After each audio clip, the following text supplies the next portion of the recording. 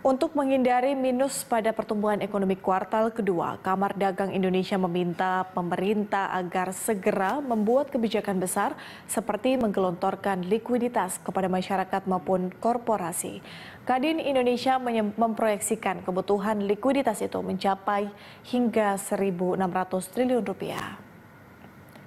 Dampak COVID-19 menggerogoti sistem perekonomian masyarakat karena menurunnya daya beli masyarakat. Hal itu membuat Menteri Keuangan Sri Mulyani memprediksi pertumbuhan ekonomi kuartal kedua Indonesia akan mengalami minus sebesar 3,1 persen.